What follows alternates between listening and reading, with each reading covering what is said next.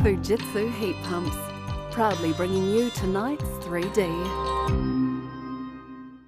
Kia ora. Tonight, the second in our 10 part series 3D Investigates. This is one of New Zealand's most notorious murders, the case of Dunedin psychiatrist Colin Bouwer serving 15 years for poisoning his wife.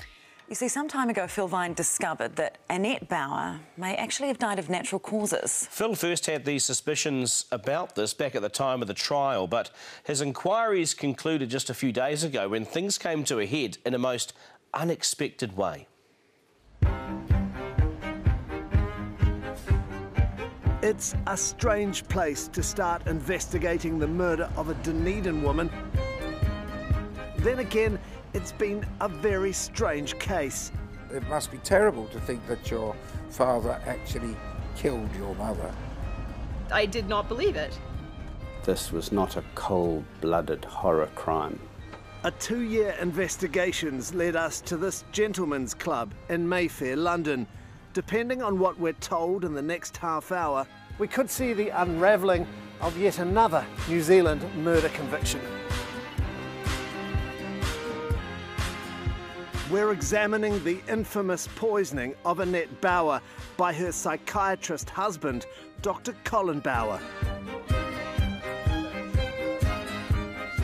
The Savile Club, urban refuge for writers H.G. Wells and Robert Louis Stevenson. These days, they also accept eminent doctors. Uh, Rudy Capildeo. I'm a consultant neurologist, fellow of the Royal College of Physicians. Dr. Capildeo, you've examined all of the material that we've given you. Have you come to a clear conclusion? Yes. So let's get straight to the point. How did Annette Bouwer die?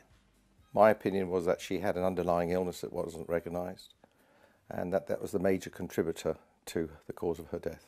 Now that's going to upset a few apple carts back home. So I have to ask you, are you certain? Absolutely. In fact, you could ask it the other way. Could it have been anything else? And I would say no. This medical opinion out of England, this single piece of evidence, has the potential to really put the cat among the legal pigeons. If Annette Bouwer did die of natural causes, then obviously she wasn't murdered. So, yet another New Zealand murder conviction might find itself here under the scrutiny of the Privy Council in London.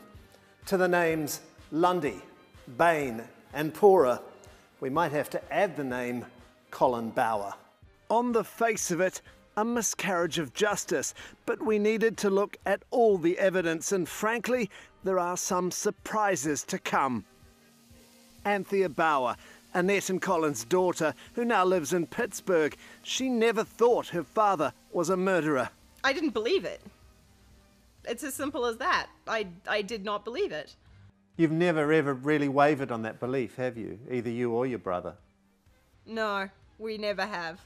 When we first interviewed them in Dunedin in 2001, Anthea was 16, Greg 18. We know that he didn't do it. We know what happened, or we think we know what happened. Their dad had just gone to prison for murdering their mum. You'd think he'd be the last person they'd be supporting. We saw her symptoms. We saw how sick she was. I mean, I honestly think that it was the disease that overcame her. An illness that was never identified at Colin Bouwer's trial. The jury was told Annette Bouwer was slowly, carefully poisoned by her husband. From the press benches, I watched as the prosecution described Colin Bouwer crushing up diabetic pills and slipping them into his wife's food, drink, even tampons, forcing her into a fatal coma. The case offered plot lines of womanizing, deceit, fantasy, and a genetic disposition to murder. Little wonder they made a movie out of it. I'm arresting you for the murder of Annette Bouwer on or about the 4th of January 2000. He was portrayed as a pretty terrible human being. But was that fair?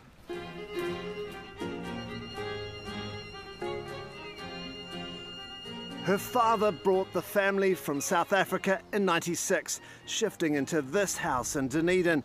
Annette Bouwer was a physio, Colin Bouwer, head of psychological medicine at Otago University. How was their relationship um, together? Well, I mean, from my point of view, it was it was solid. They were good together.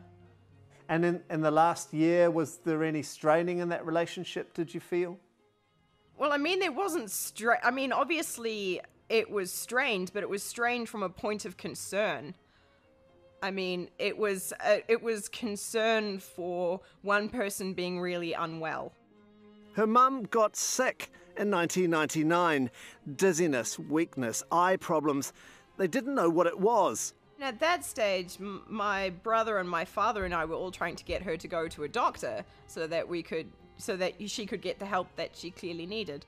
Why was she so resistant? My mother was a very stubborn lady. How worried was your dad on a scale of 1 to 10? Extremely. Uh, a 10.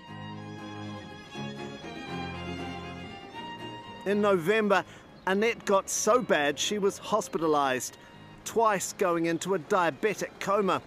It was thought she had a tumour. They operated but found nothing. She came home Christmas Eve, and yeah, within a within a couple of days, um, she was bedridden, and I mean, we were all we were all really worried. On the fifth morning of the new millennium, Colin Bouwer found Annette unconscious in their bed. This is him calling 111. Is she breathing at all? Hey, look, I'm, I'm a doctor and I'm not panicking at the moment. I, I can remember the red body bag, and then my dad called my friend's mother for me because my friend was out of town. So um, called the mother, and she came and we took the dog for a walk. I was definitely in shock. I mean, you don't expect that to happen when you're 15. You know, one minute she's there and the next she's not. And so, you know, the carpet's kind of ripped out from underneath your feet almost. And the carpet hadn't stopped moving. Her father was about to be charged with murder, murdering her mother.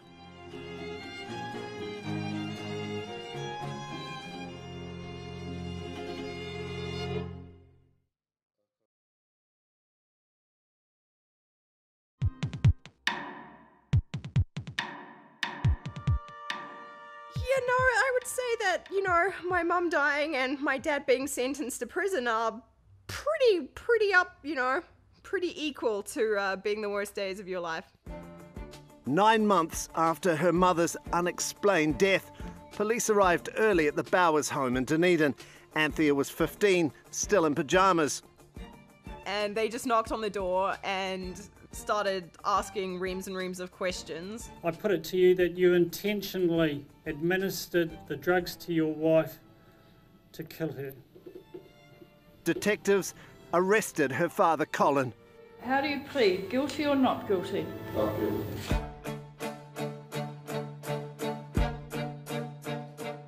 The six week murder trial, one of the most complicated and expensive in New Zealand legal history. Also, one of the strangest I've ever sat through. Colin Bouwer was accused of being a womanizer, taking two mistresses. A liar, faking prostate cancer for sympathy, shaving off his hair and forging medical reports, and a fantasist, pretending he'd been imprisoned and tortured in South Africa so he could get bail. He made mistakes. Was he a liar by character? No. Was he a fantasist? No. And in the most bizarre of twists, while Colin Bouwer was in court here in Christchurch, his adopted son was being convicted in South Africa for murdering his wife. Colin Bouwer Jr. will soon be back in court for the murder of his 23 year old wife, Ria Bouwer. Crazy coincidence. Well, yeah, but coincidences happen, I suppose. Her father had written false prescriptions to accumulate diabetic pills.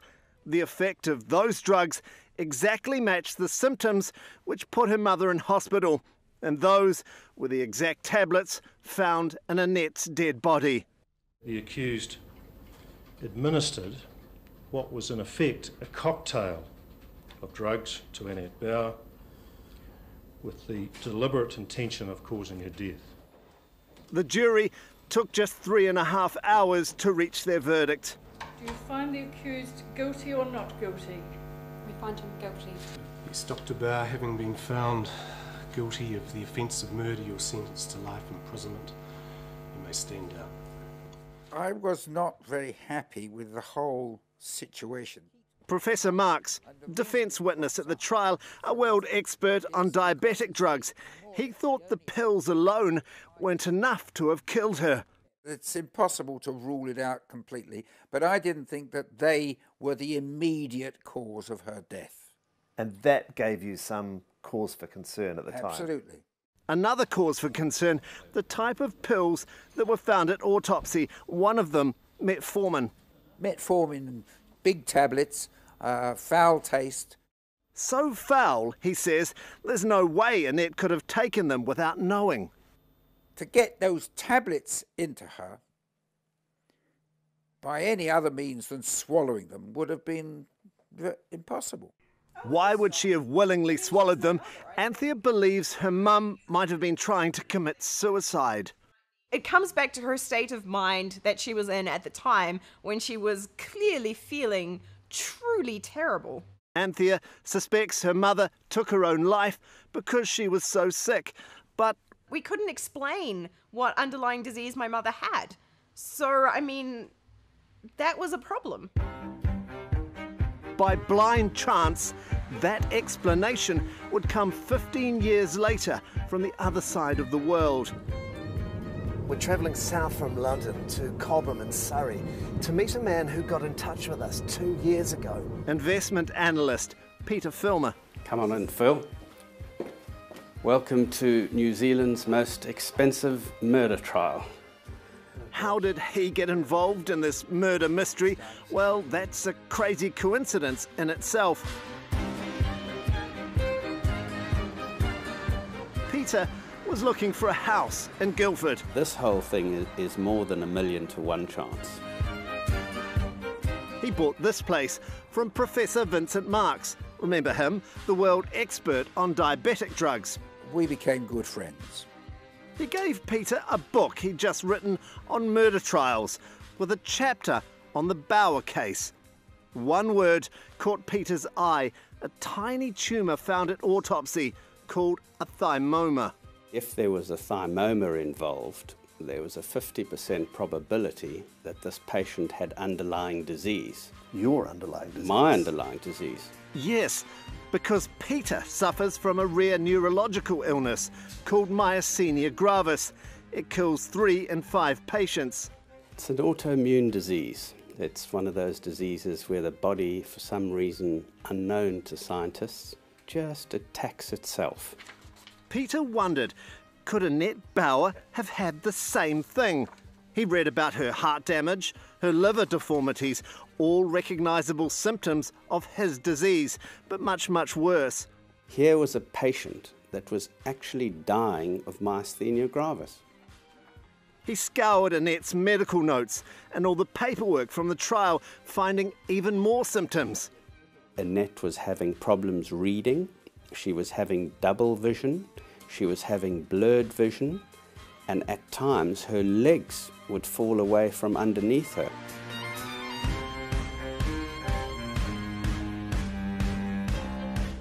Peter went on the road, consulting specialists. He kept finding more signposts, symptoms like muscle weakness. She'd fallen down the stairs.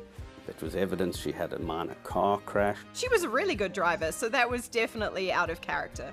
Fatigability.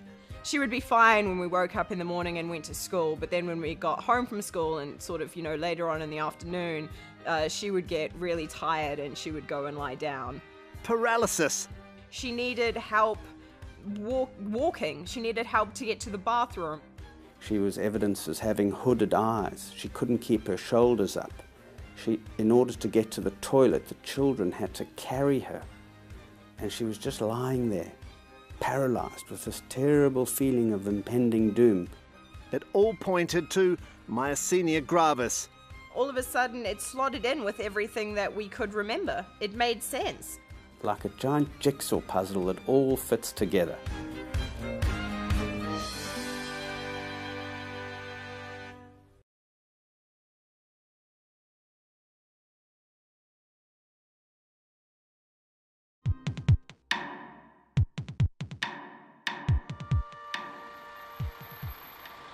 Dr. Rudy Capildeo, leading British neurologist. We asked him to re examine all the information about Annette Bouwer's illness. The presence of this disabling condition over four to five months, getting worse and worse because it wasn't diagnosed, it wasn't treated, and then at death, a thymoma was found as well, in my mind, makes the diagnosis of myasthenia gravis 100%. Not only did Annette's doctors miss the myasthenia, Rudy says, unwittingly, after surgery, they sent her home with two doses of penicillin. That again could have blown up into myasthenic crisis. In other words, profound weakness, respiratory weakness, and death. So the penicillin Yes. could have poisoned her. Yeah, absolutely.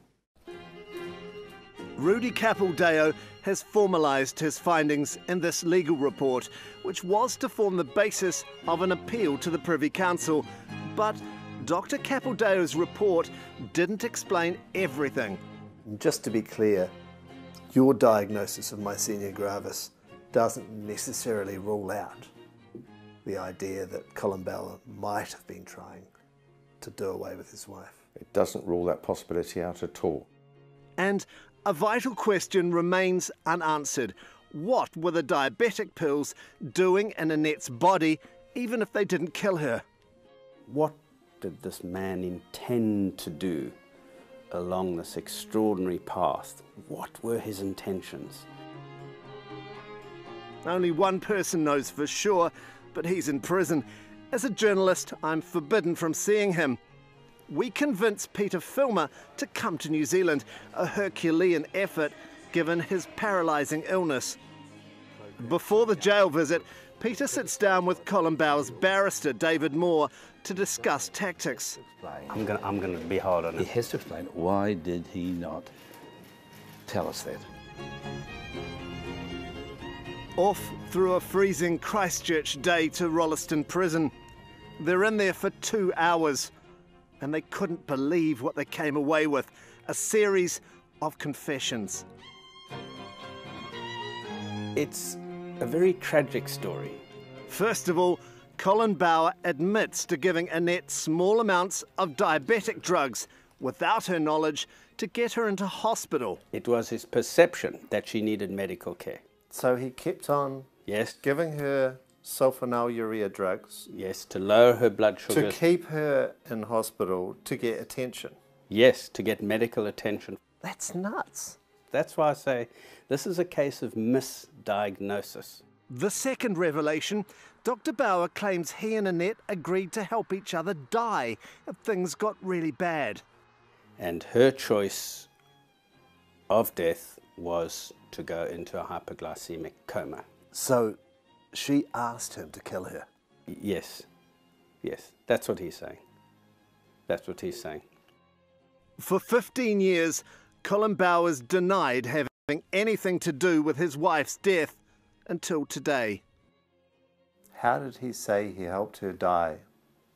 He got a mixture of the various drugs and put them in hot water and they dissolved over a period of time.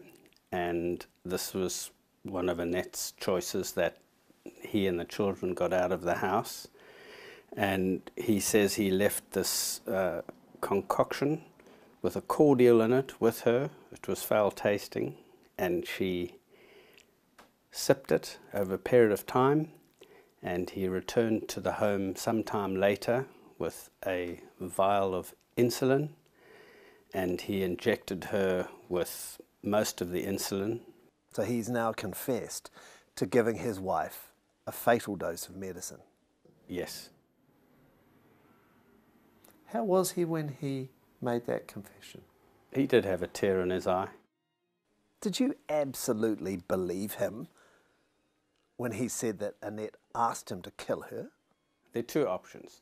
The first option is that you would approach it forensically and say, here was a clinician looking at a near death type scene, and he made the choice without Annette.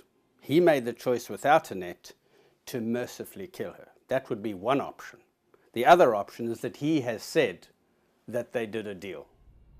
So Peter Filmer will return home not having freed an innocent man as he once thought. In his mind, there's two possibilities a mercy killing or assisted suicide. But of course, there's a third murder, which Colin Bouwer still denies. What do you believe? You take your pick. I, I want to know whether you believe him or not. Ah, I think that in the state that the experts say Annette was in, it is a plausible story. It's very plausible and understandable because the it? kids, the kids. No, yes, Peter, Peter, yes, Peter, I answer the question. It. Yes, I believe it's completely possible. So now we know more about the death of Annette Bouwer than the jury ever did. There were so many competing forces vying for her life. Undiagnosed myasthenia was trying to kill her, compounded by the penicillin. And finally, her own husband, for whatever reason, served her up a potentially fatal dose of drugs. Extraordinary. What can you believe from that guy? Huh? Even uh, Colin Bouwer's lawyer, he's trying to work out what he's going to do now with this new confession. I mean, assisted suicide would have landed his client 10 to 14 years in prison, but Colin Bouwer's already served, he's almost served 15 years. Yeah, and he's due uh, before the parole board in September, and if the case isn't reopened, he's likely to be deported back to South Africa. OK, if you have any unanswered questions about the case, you can head to Facebook right now. Uh, Phil Vine, he's sitting there and waiting, ready to respond. And Phil's story tonight was the second in our series of 10 3D Investigates this year, funded by New Zealand On Air. 3D itself is back next Sunday at 6.30pm. We've enjoyed your company. Thanks for watching. Good night. The intelligent choice for you and your home. Fujitsu Heat Pumps. Proud to have brought you tonight's 3D.